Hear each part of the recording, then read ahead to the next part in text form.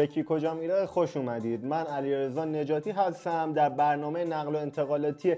امروز می‌خوایم به بررسی عملکرد و مقاصد احتمالی بهترین بازیکن سری آ تا اینجای فصل بپردازیم. پس تا آخر این ویدیو همراه ما باشید.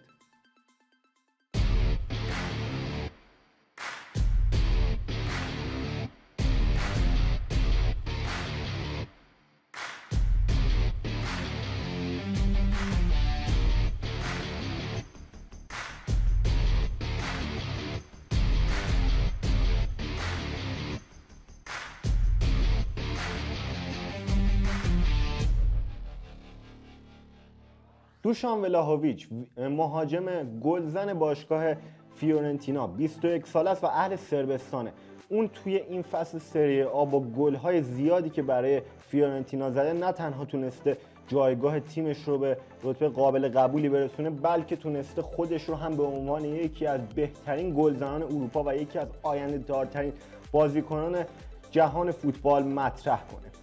ویژگی اصلی ولاهوی چارچوب شناسیش و زدن ضربات آخر توی محوطه جریمه است که در این زمینه یکی از بهترین بازیکنان سری آ و فوتبال اروپا محسوب میشه.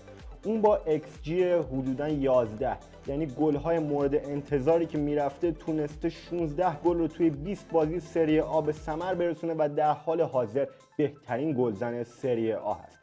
اون تقریبا تمام مهارت های یک گلزن رو داره. با ضربه سر شوت از راه دور و تقریبا هر نوع گلی که فکر کنید رو تونسته به ثمر برسونه و به همین خاطر هست که باشگاه های بزرگی در فوتبال اروپا خواهان جذب اون. سه باشگاه بیش از همه برای جذب دوشان ولاهویچ گلزن سرب فیورنتینا ابراز علاقه کردند باشگاهی که بیشترین پافشاری رو روی خرید این مهاجم داره آرسنال هست. آرسنال از توانایی های مالی لازم برای پرداخت رقم درخواستی فیورنتینا و دستمزد بازیکن برخوردار است اما خود بازیکن فعلا تمایلی نداره تا در میانه فصل راهی آرسنال بشه چرا که منتظر پیشنهادات بهتریه. قرارداد ولاهویچ در تابستان 2023 تموم میشه و این دلیلی که فیورنتینا اصرار داره اون رو هرچه سریعتر به فروش برسونه. خب اما بازیکن می‌خواد به دنبال مقاصد بهتر و جذابتری باشه.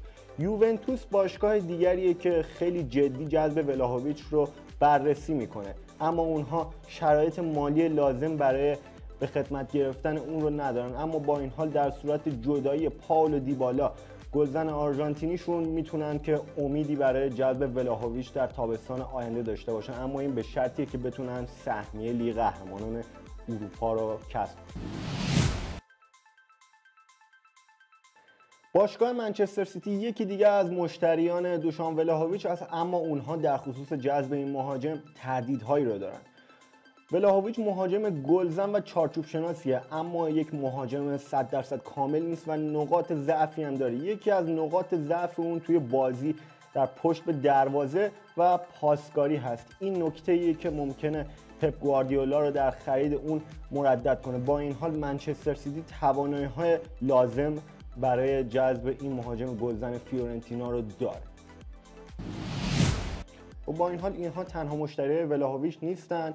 تیمی مثل بایرن مونیخ یا بقیه تیم های انگلیسی هم ممکنه برای جذب اون اقدام کنن. به پایان این بخش از برنامه کی کجا میری رسیدیم. به نظرتون ولاهویچ مقصد آیندهش کدوم تیم خواهد بود؟ نظرات خودتون رو در زیر این ویدیو برامون کامنت کنید و همچنین کانال یوتیوب طرفداری رو subscribe کنید تا از سایر آیتم ها و سوژه های روز ما با خبر بشید. پس تا برنامه بعد خدا نگهدار.